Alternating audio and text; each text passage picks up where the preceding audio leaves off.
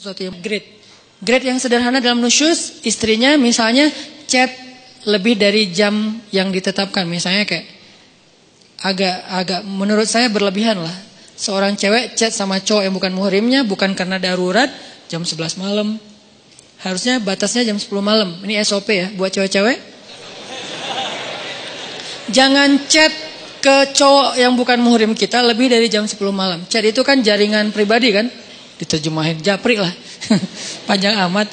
E, chat itu kan japri. Jadi kita kayak ngobrol berdua nggak darurat kecuali darurat. Ada urusan penting urusan kerjaan urusan sosial urusan apa lagi. Tapi bukan modus. Eh e, nanti jangan lupa ya sebelum tidur baca 100 ayat. Sih soalnya kata Nabi pakai pakai bawa Nabi lagi ya. Siapa yang sebelum tidur baca 100 ayat maka dia dicatat sebagai orang yang tidak lalai. Kan gitu kan karena siapa yang apa selalu dalam keadaan zikir berarti Allah ingat dia fad, uh, apa fadkuruni adkurkum. Berarti siapa yang sebelum tidur baca 100 ayat, Allah ingat dia sepanjang dia tidur sehingga dia tidur dalam keadaan diridhoi oleh Allah. Ya, jangan baca ya, jangan lupa ya baca 100 ayat. Oh ya, surat apa? Bebas, yang kamu udah lancar aja. Atau kalau misalnya kamu ngantuk, aku aja bacain mewakili kamu. Apa gitu kan ya? Nah, ini namanya modus. Jangan di follow yang kayak gitu-gitu. Oke, jadi uh, jangan lebih dari jam 10 kecuali darurat. Nah, suami yang nggak cemburu istrinya chat terus cekikikan, terus emotikonnya guling-guling apa. Nah, ini nggak nggak benar nih. Berarti dia udah mulai kena penyakit dayus harus cemburu. Nggak ada apa-apa kok. Bukan kita curiga sama istri kita atau sama cowok itu. Kita nggak suuzon sama mereka berdua. Kita suuzon sama setannya. Mereka dua-duanya orang soleh, soleh. Yang satunya ustadz lagi tuh. Ustadz, saya lagi sedih nih. Hati-hati, ustadz juga manusia. Saya dipanggil ustadz. Ustadz pernah tergoda? Hampir. Untung lah, enggak astagfirullahaladzim. Wudhu gitu. Tapi nyesel, kenapa nggak disambung 5 menit lagi? Ustadz juga manusia, manusia. Jangan mengkultuskan Ustadz. Ah Ustadz mah insya Allah nggak apa-apa. Jangan. Kita nggak curigain Ustadz, kita nggak curigain ceweknya. Kita curigain setan yang ada di antara mereka. Dan setan itu ya jeri majrad dam. Mengalir di dalam aliran darah kita. Dia tahu banget kelemahan kita di apa. Ada yang kelemahannya emotikon. Dia tahu. Akhirnya dibisikin, eh lo bilang ke orang yang ada di dalam uh, yang lo sembunyi di tubuh dia. Kan setan kayak saling apa uh, hati-hatian gitu kan. Roger gitu apa gitu apa. Setan kan saling kontak-kontakan kan mereka live terus online. Lo di tubuh dia gue di tubuh dia ya. Ya udah kita bagi tugas. Kelemahan dia apa? Emoticon emoticon yang mana? Yang guling-guling yang berdarah-darah air mata. Akhirnya aku lagi sedih nih habis dimarahin suami. Oh biasa itu ujian rumah tangga.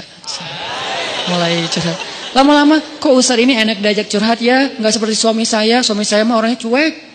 Kalau Ustaz orangnya pengertian dia bisa menghibur saya, masya Allah, jadi nyaman. Nggak ada pikiran macam-macam, nyaman doang nih, nyaman chat.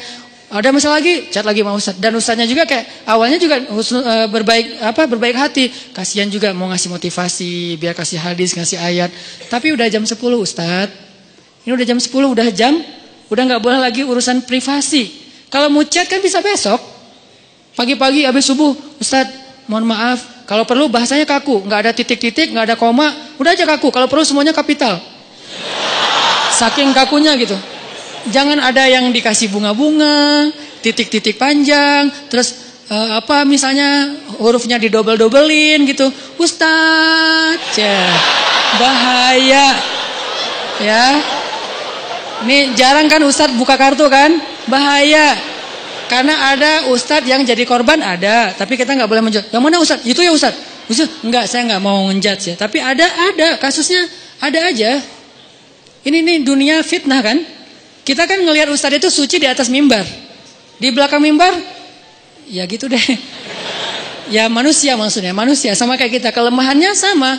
Mudah-mudahan kita berbaik sangka dia lebih soleh. Tapi sesoleh-solehnya dia, bukankah di zaman di Bani Israel itu ada orang yang ahli ibadah 100 tahun?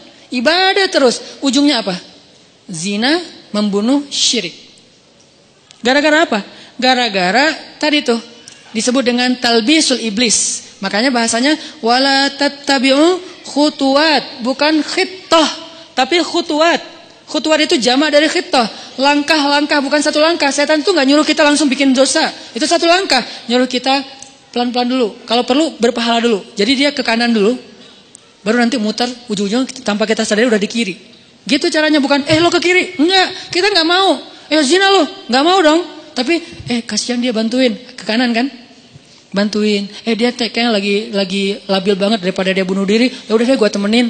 Chat sampai jam 12 malam kanan, chatnya pelan-pelan, ayat dulu keluarin, hadis, lama-lama nasihat pribadi. Kok kata-katanya bagus? Ya, kata-kata saya sendiri. Oh, Ustaz ini bijak sekali. Mulai ke tengah, ujung-ujungnya ada di kiri. Itu terjadi. Berapa lama dari sini ke sini? Bisa seminggu, bisa sebulan, bisa setahun. Yang jelas usaha dari sini ke sini tuh seumur hidup kita dia usahain terus sama si setan teh. Dia nggak akan berhenti. Kita udah ke sini Udah sampai di sini, sadar, balik lagi kan? Diusahain lagi, dia nggak akan berhenti sampai kiamat. Itu perjanjiannya dengan Allah. Akan aku sesatkan cucu-cucunya Adam sampai hari kia, kiamat. Kalau jam, kalau dunia batas waktunya kiamat, kalau kita batas waktunya sakaratul maut. Jadi nggak ada batas waktu terus saja. Mau ustadznya udah kakek-kakek juga sama. Sebelum meninggal berarti masih ada kesempatan diginiin. Dia nggak akan nyuruh nyebrang ke sana. Khit, khutwat. Khutwat itu langkah-langkah yang panjang, yang banyak. Mungkin seribu langkah, mungkin dua ribu langkah. Yang jelas goalsnya ke sini nih. Tapi langkahnya ke kanan dulu. Itu talbis namanya. Talbis itu tipuan. Cuman beliau ini nih yang paling soleh, paling amanah.